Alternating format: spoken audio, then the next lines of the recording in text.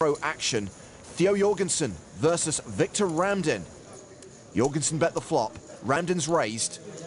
It's rare for somebody to fast play a flop, so when Victor does this, it's probably going to look like some kind of ruse.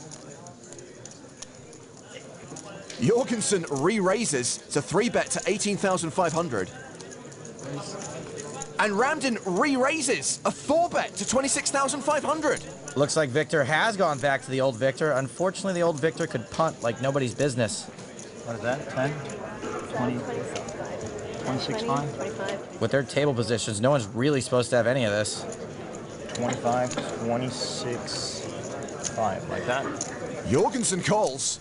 65,000 in the middle. The turn card is the 7 of hearts. Jorgensen checks. Yeah, nobody's got anything. Ramdin checks behind.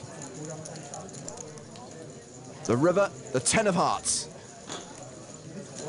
Jorgensen quickly bets 36,500. Ramdin quickly calls. Theo's got king high. Ramdin, river to straight. Wow, they were both full of beans. I like the bet by Theo on the river. Just unlucky Victor had a hand he could snap call with.